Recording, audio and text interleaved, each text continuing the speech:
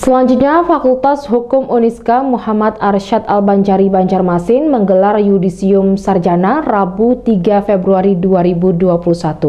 Diikuti 469 orang, dibagi dalam dua sesi atau sepertiga dari kapasitas ruangan yang disediakan.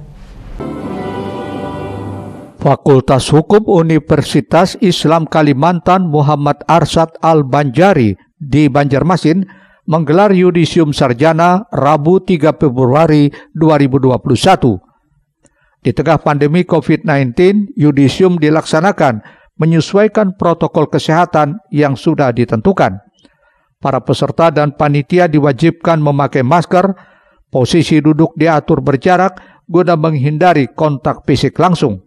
Total peserta yudisium ada 469 orang dibagi dalam dua sesi atau sepertiga dari kapasitas ruangan yang disediakan.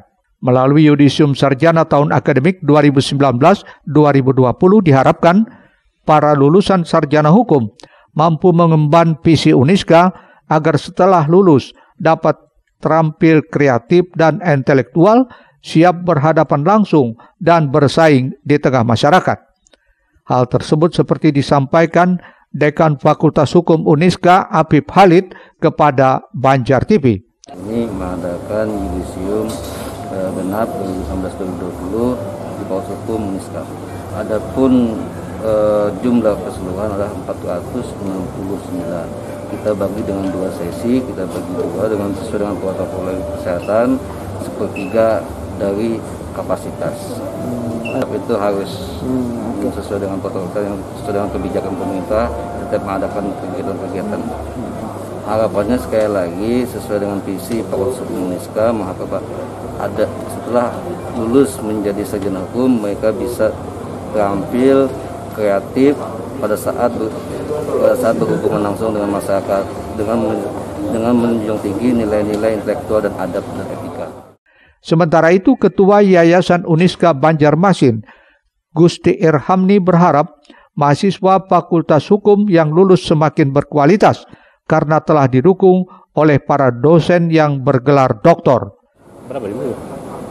Dua sesi ya, hampir dua sesi ya.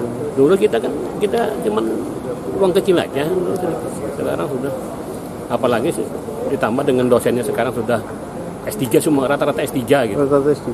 Rata S3 jadi memang ke depannya mahasiswa lulusan fakultas hukum ini memang harus berkualitas hmm. karena tanggung-tanggung yang mengajar juga S3 gitu hmm. nah sekarang kan ditambah mungkin bulan-bulan ini nanti juga ada S2 nya muncul lah S2 hukum yang